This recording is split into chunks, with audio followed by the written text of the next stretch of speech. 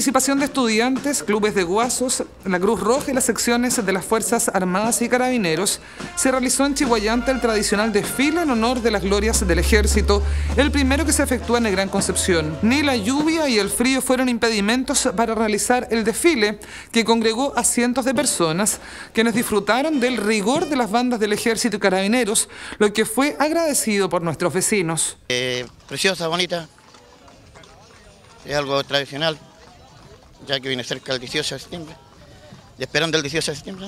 A pesar de la lluvia, todo yo creo que es muy bonito, sí.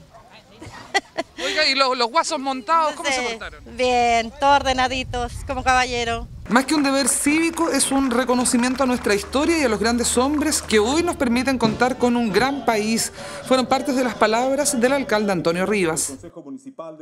Estamos muy contentos de celebrar estos 204 años en nuestro Chihuayante, con nuestras Fuerzas Armadas, con los vecinos, con la ciudadanía organizada además con los guasos montados de Chihuayante, segunda vez que participan, todos ya siendo parte de este septiembre del 2014. Con esta actividad se dio inicio oficial a las fiestas patrias. El miércoles 17 a las 19 horas se inaugurarán las tradicionales ramadas ubicadas frente a la comisaría de carabineros con los chacareros de Paine y los luceros del Valle. Para el jueves se presentará Fusión Humor y la banda San Andrés, mientras que el sábado 20 animarán las ramadas la Sonora Palacios. El domingo 21 será el broche de con el grupo Noche de Brujas.